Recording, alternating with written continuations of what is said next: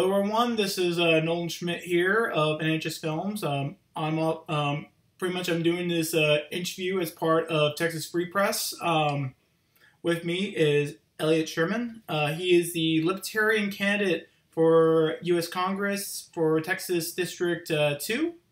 Um, uh, pretty much uh, today, um, pretty thankful that I'm able to do this interview. This is actually my first interview with a with a uh, candidate uh, since uh, 2018 when I interviewed several of the statewide candidates um, here in Texas, uh, as well as uh, Neal Dikeman, who ran for Senate uh, two years ago.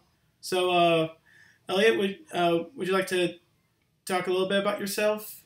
And sure. Your Thanks for having me, Nolan. Mm-hmm. Um, so, my name is Elliott Scheirman. I'm running for U.S. Congress in Texas' second district. Um, it's uh, one of the most gerrymandered district uh, congressional districts in the entire United States, uh, making kind of a hook shape around the city of Houston.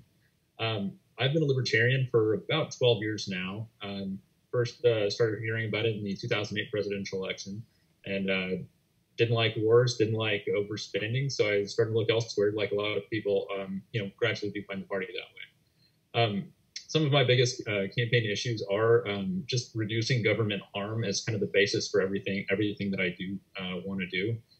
That uh, has a lot of broad appeal for people on the right, people on the left, and people who don't feel like they have a political home. Um, I'm a very uh, strong supporter of both uh, civil rights and, and property rights, um, gun rights, and uh, equality for, for everyone, no matter what your gender identity or sexual orientation is, or um, you know what kind of things you want to do in the privacy of your own home or in public, as long as you're not hurting other people.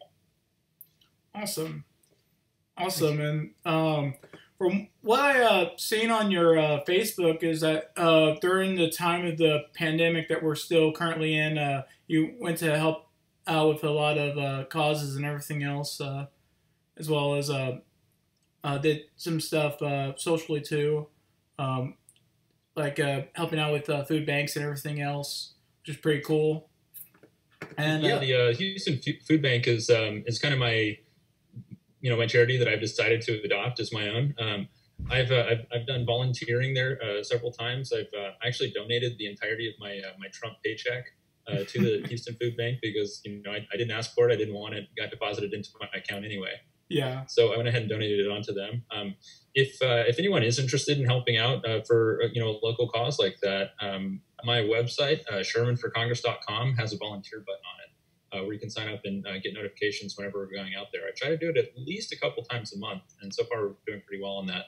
But um, if if you're wondering what to expect, I'm just packing bags of um, you know of, of food goods for families who aren't as fortunate, and just making sure that people can eat. And, you know, food's vital. So if you want to help people out, you know, those who truly can't help themselves, that's the best way to do it is voluntarily.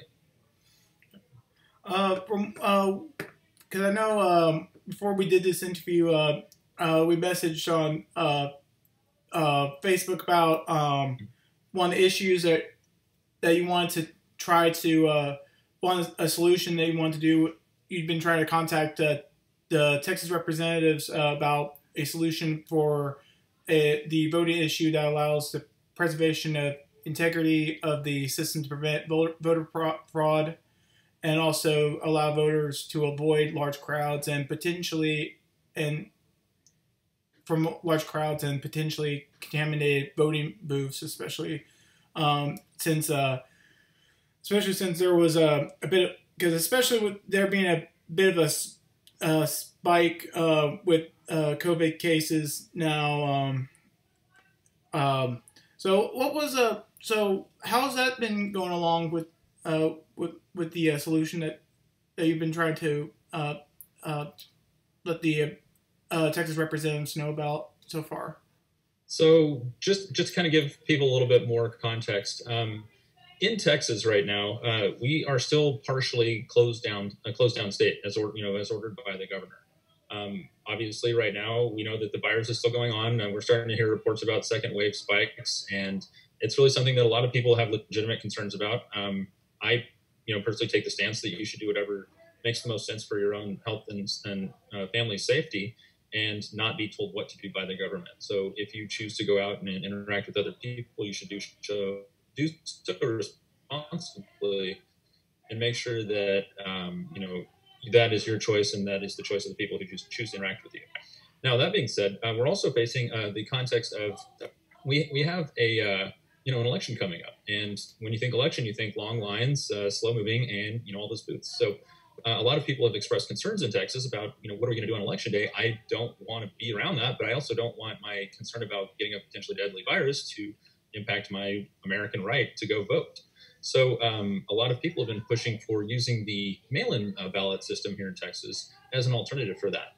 Now there have been mostly people on you know on the Democrat side pushing for the mail-in ballots uh, because they feel like it's kind of the best way to help not disenfranchise anybody. Uh, but there's been some pushback by Republicans in Texas who fear that mail-in ballots don't have the same level of scrutiny that in-person voting does, and therefore it um, can open up you know a can of worms for voter fraud if people are able to misuse ballots and um, you know, maybe mail-in ballots for people they know won't vote, so they can, you know, get an extra say. So, you know, there there are valid concerns about voter fraud, and I don't want to discount them. So, I came up with a solution that uh, kind of bridges the gap for both uh, both sides. Uh, my proposal would allow, um, basically, you know, how you can go get your car registration renewed at any grocery store. You just go up to the customer service desk, and they, they'll look at your ID and print it off for you. Yeah. Um, essentially, doing that with your voter ID you know, give them your voter ID card. They print off a ballot for you, and you can just take it home, fill it out, and it, this would actually benefit you in a couple ways. There's no rush, so you can actually spend some time looking up the candidates and their positions they care about. You can look at the issues that matter to you, and maybe give a little voting a little bit more thought than picking your favorite uh, letter next to people's name. Um, so you, you take the ballot home, and then you just simply turn it in during any normal election period. So um, early voting uh, on election day, anytime at at any regular polling place. And just like you would on an election day, they'll look up your voter registration and you'll sign your name right next to it as you drop it off. So it really minimizes the contact point, the amount of time you have to spend around people. And it uses existing infrastructure that's already in place with uh, these distributors into the grocery stores who already have an alliance with the state government uh, for the auto registrations. Um, so good idea. Now what? Um, the next thing I chose to do was uh, reach out to uh, essentially, I, I, actually started with the other opponents in my my same race uh, for for Congress. Uh, I know it's a, a, state issue, but I wanted to you know, at least say, hey, I want to reach out. Let's see what we can do together to um, help get some momentum. Um, I did not receive any return call on the answering machine I left with uh, the Democratic uh, challenger. And when I called incumbent Dan Crenshaw's office, um, I spoke with I spoke with his campaign manager, and he he started to sound like it was a really good idea. And then I haven't heard anything since. So yeah. um, I can imagine that, you know, maybe there's reasons that they don't want to acknowledge my existence at this point. Yeah. Um, so next I went down and called my uh, actual local uh, reps and, you know, state reps and state senators and reached out to them and let them know. Um, and I started going down the list, all 181, uh, you know, congressional representatives and state senator or state uh, Congress, uh, reps and state senators and just reached out to them. I got uh, some emails back from uh, some of their staff who said, This is a great idea. We'll pass it along. I got actually a call back from a, a few of the uh, reps themselves, and they said, Hey, you don't live in my district. Why did you call? And I said, Well, I left a message. this is this is what we're talking about, and this is something that we need, um, you know, the Texas legislature to have an emergency session in order to make something like this happen in time to deal with this very real and you know pressing threat. Right now, it seems like I have not gotten a whole lot of pushback, but the only way to get people or to get the representatives to care is for the people to care. So that's why I'm happy that we're talking about this today. And yeah. the longer they wait to do anything about it, the shorter amount of time they have to implement. But I still think if people have a couple of months ahead of time to get those ballots, um, everyone can go get them. I, I, I, think that it will combat, um, you know, you know, people being concerned about going to the polls. It will combat concerns about voter fraud because the exact same thing where people are able to sign it you know there in front of the uh, polling official is occurring. So I, I, there's not really any downside other than people, other than the representatives need to uh, realize that you know have their uh, collective political will to go ahead and, and, implement something like this. Awesome, really, because uh, honestly, by the sound, that is a really cool idea. That is, re- I I I actually de- definitely support something like that, especially with with the with uh, the uh, second, especially with a second wave hitting and everything else, because it's like, um, because I know, especially with the spikes, some of the spikes going up here, especially here in my uh, my uh, my home county of Guadalupe, uh, like it's already pat like case it already went up to like two past 200 cases here in Guadalupe County, and uh, I know in some some of the other counties it's a lot higher than that. Um, yeah, my home here in Harris County has had hundreds of cases. It's it's not something that's you know just a blip. It's, it's Yeah. sticking around. yeah, it's yeah, like and because I know some people were thinking, oh, it's probably gonna die out during summer because of the Texas heat and all, but it's still lingering. Yeah. S- still lingering.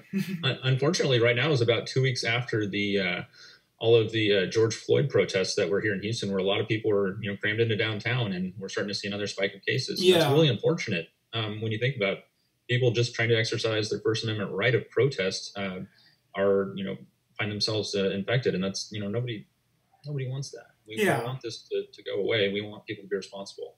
Um, I did see a lot of people wearing masks uh, for what it's worth uh, when I was there at the protests, um, but you know we're still seeing it nonetheless. Yeah.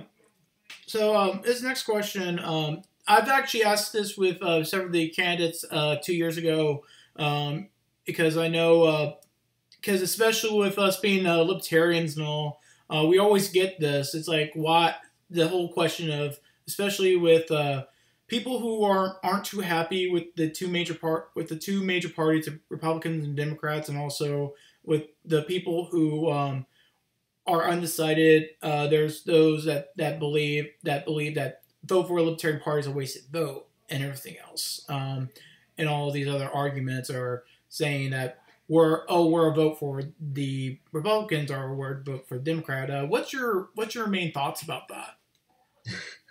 I've heard that so long, or you know, just for so many years. Um, my, my my biggest thing to say is like we need to stop this this uh, culture of voter bullying. Uh, the idea that um, telling someone else that how you know what they believe in and what they want to accomplish is a wasted vote is ridiculous. What you're really just saying is that doesn't serve my purpose of trying to get my candidate elected. Whereas, it, and therefore, you need to do what I want so I can get what I want. And that's that's a really selfish and uh, kind of bully mentality. Um, you know, libertarians have have gotten to the point where they are. It's not an easy road to do, uh, but we've we've uh, joined this party and we've uh, support these candidates because it's the right thing to do. So yeah, it's it's an uphill battle, and we have to combat against that all the time. Um, but if you are, let's let's just talk about the presidential election for you know an example. If you are a Trump supporter and you really don't want Biden to win, and you are bullying someone who supports Dr. Jo Jorgensen, you're saying that you know my preference for Trump is greater than your preference for Jorgensen, and that's simply not true. Every person gets their own voice. Every person gets their own vote. So, um, you know, for when I hear that as uh, someone who will be supporting uh, supporting Dr. Jo Jorgensen in November, I say, well, stop wasting your vote on Trump because you should be supporting Jo Jorgensen. I don't want Biden to win. Stop telling me that I'm going to make him win by voting against Biden. So, um, really, is you know that argument doesn't stand up to even an ounce of scrutiny because as soon as you apply it to them, they get all you know, oh no, that's not true, and defensive. So, when you look at it, um, the amount of people who didn't vote in the last presidential election was around 45 percent that is a winning plurality if we can harness that energy. Um, there's another uh, ca- uh, libertarian candidate for Congress here in Texas named uh, Kevin Hale, and I like to give him a shout out because this guy is brilliant. He, he said, I'm not going after Republicans or Democrats. I'm going after the people who didn't vote. Um, my opponent in this election is apathy, and I'm going to beat it. And he's got all the numbers figured out for his district. He said, This is the exact number of people I need to do this is the exact number of people I need to tell to tell this amount of people. And he's he's got such a great ground game, you know, doing his block walking and everything that I just I, I love it. It it inspires me, inspires a lot of candidates here in Texas. So really, it's we have the opportunity. There are so many registered voters who do not want to support Republicans and do not want to support Democrats that are just right there for us. And we need to work on make sure that when we communicate with them, uh, we invite them in, we make them feel welcome as libertarians, and we let them understand it's okay to try this. If, you, if you're not, you know, if, if you're not seeing what you want in the other parties, don't reward them with your votes, and de- definitely don't sit home, because if you sit home and don't vote, all you're doing is just giving them your your silent assent for whatever happens. Uh, I, definitely agree with that because I'm, I know because I especially looking at the the what through the the results of the uh, election, I know noticed it with the um, as well as the uh, what was it the the midterm uh, two years ago that there was that there, especially in my home county, uh, there was like there was like a good amount of people who were registered to vote, but um, but not all of them not all of them voted. Like there were some that that pretty much stayed home, um, because uh, there was like a because I even typed up the percentage and I was like, oh wow, th- this many people didn't vote because they everything else, and this was like during the same election year where we had um, had the probably one of the biggest uh, Senate races, uh, the like biggest Senate race we had, um, where we had uh, Ted Cruz versus uh, uh, Robert O'Rourke, and then we also had Neal uh, running against them and everything else, and it was a and it it was like the results was like out like re- like high compared to like some of the other races that we that we had even though we did break records that uh, that year with uh especially with um, uh, Mark uh, uh, break, breaking the record for uh, most votes by a libertarian candidate uh, running for governor. Uh, so, yeah, Mark Tippetts was a great candidate. Yeah. I mean, Texans had such a good opportunity in 2018 to uh, select him. Hopefully, uh, hopefully we can talk him into running again in 2022 because he's he's great. And people just need to hear him and they'll say, okay, wow, you know. And yeah. Then, on, you know, conversely, you've got Greg Abbott who is arguing that you know let me can, let me shut down the state and then you know hurt hurt all these businesses, put all these people out of work, and then blame millennials for spreading the disease uh, oh. when I want to open it back up. That it's it's, it's ridiculous. It, any any leader who who tries to blame their constituents for uh, decisions they made, it's that's they're signing their own pink slip, as far as I'm concerned. Yeah, especially as a millennial myself, I'm like, I've been, I I don't even go out that much either. I mean, I'm just, I've just been because most I'm more been working from home and all that stuff. So yeah. the only time I go out is just for either going going to get groceries or or going to church. yeah, well, right now this is probably the 12th or 13th week, uh, maybe 14th uh, that I've been working from home. Um, you know, fortunately, I have the ability to do that. Have my computer set up that I can bring bring home and you know stay relatively you know quarantined. A lot of people don't have that luxury, you know, especially when you're talking about uh, service industry jobs, um, entertainment, uh, hospitality these people are hurting for work and they their careers are built upon a market that is open and free and you have governments shutting them down um, there are reasonable responses to consider for you know viral outbreaks but you know just forcing people to sit at home and collect government checks is not the solution. It's not at all. We need to be responsible with how we interact and figure out smarter ways to do so not have this government one size fits all you know imposition on society. Yeah. Uh, were there uh, any other issues that uh, you, um, especially recently, that uh, you've been trying to uh, uh, put out there with your campaign? Certainly, and obviously the, the biggest and most recent um, issue has been the the police brutality topic. Um, you know, with the notoriety of the on-camera murder of George Floyd in Minneapolis, um, it's it's really the kind of ignited a spark of, of uh, resentment that's been that's been growing over for years until it's finally boiled over.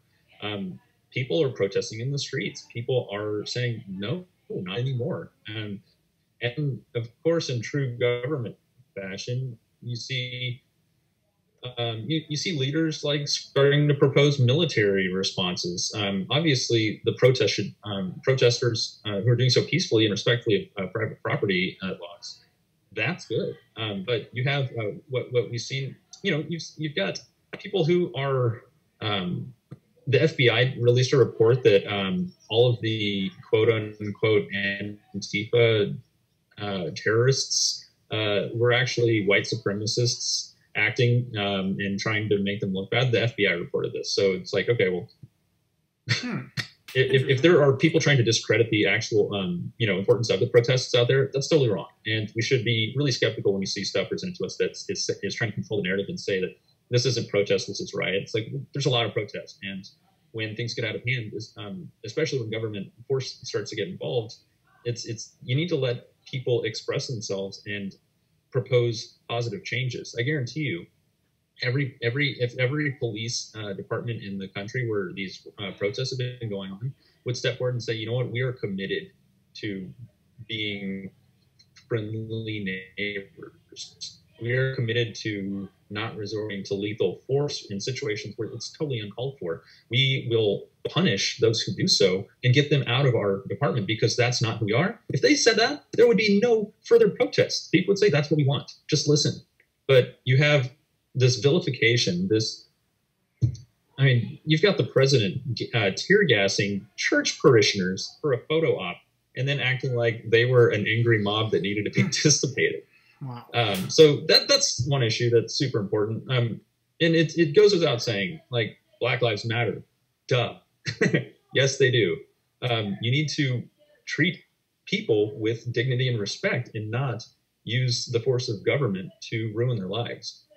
And that same ideology can be carried over to you know dozens of different topics. Um, something that I'm also uh, really passionate about is I'm the only candidate in my race who does not support red flag laws. You've got Dan Crenshaw, who sounded like a really great guy when he wanted to run, uh, when he was running. You know, he sounded like he said all the right liberty things and talked about like individual rights. And then he gets in office and immediately starts spouting off on supporting red flag laws. He just last month co-sponsored the single largest uh, overspending bill in American history um, so he doesn't he doesn't care about fiscal responsibility. He doesn't care about your gun rights, and he's just constantly, you know, pandering to uh, his his base who doesn't really care about what he's actually doing legislatively, as long as he what he says on camera is good. And I'm I'm running because I want to hold uh, that type of behavior accountable. Now, on the other side of the race, uh, you've got the Democratic challenger uh, uh, Sima Ladjevardian, who was actually uh, Beto O'Rourke's um, excuse me campaign manager. So I've got I'm going up against some big guns on both sides here, and um, really I, I, feel like their issues are their weaknesses. So that's that's uh, somewhere that I, I can stand strong and stand as you know as a different differentiator for voters to consider. Um, another thing that matters a lot, you know, this is June. It's it's Pride Month.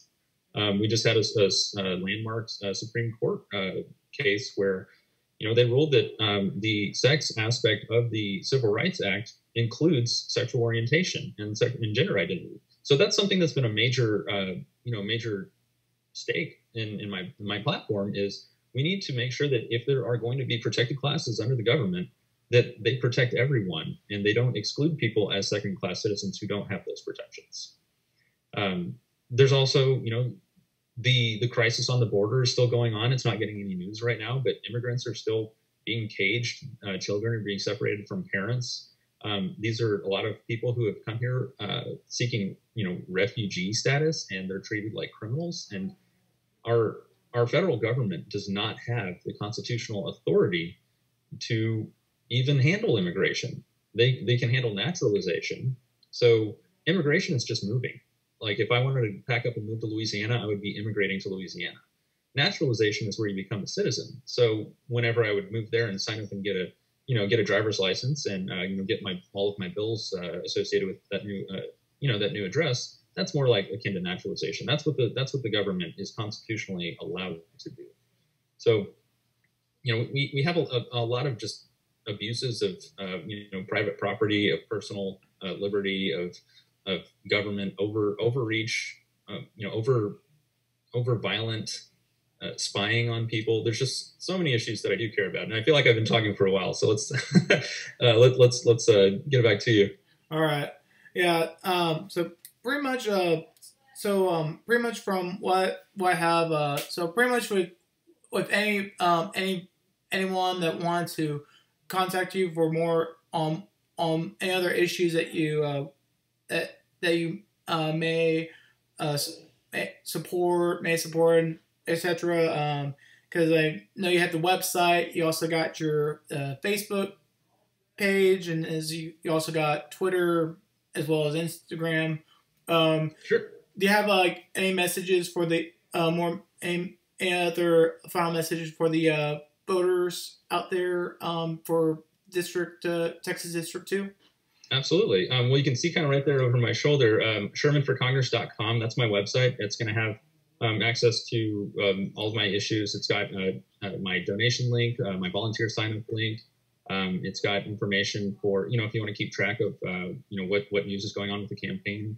Um, so it's a really good resource there. Um, donations do absolutely help, uh, especially for um, for challenger candidates. It's I'm you know I'm going up against two machines that are funded with millions of dollars, and um, you know I've, I've got the best message, but you know you, you gotta you gotta get money to help help get that message out there. So um, anything you can donate helps directly uh, with whether it comes to uh, digital uh, digital ads, uh, yard signs, door hangers, um, updating website to be more dynamic, include more of a store function is something a project I'm working on right now.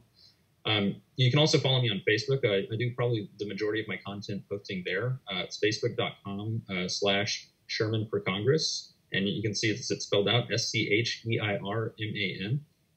Uh, my Twitter is uh, twitter.com slash uh, vote Scheirman. And that again is S C H E I R M A N. And my Instagram, uh, just like the Facebook, is uh, at Scheirman for Congress. So um, that's where I have a lot of my all of my social media content. I'm very responsive on there. If you do have questions, I'm not going to give you any kind of canned, you know, canned politician speak responses. I'll give you. I'll have a real conversation with you because people seem to forget that this job is to represent people um, I want to represent the people in the district. And if they have questions about what I want to do, you know, if I'm doing that job, they absolutely have every right to ask that. This running a campaign is a job interview, and every single person in the district is the hiring manager. So what my, my what I'm trying to do is just get my foot in the door, get into those offices, and let them let them hear what I have to say because I've got the best message. Awesome.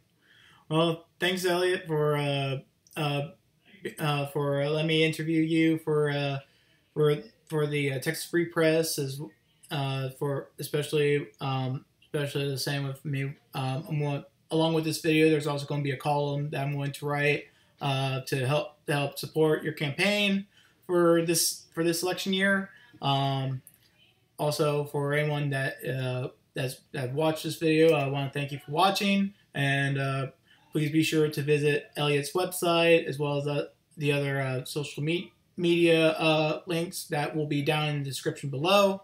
Uh, this has been Nolan Schmidt, and um, again, uh, with Elliott Scheirman, and I'm signing off.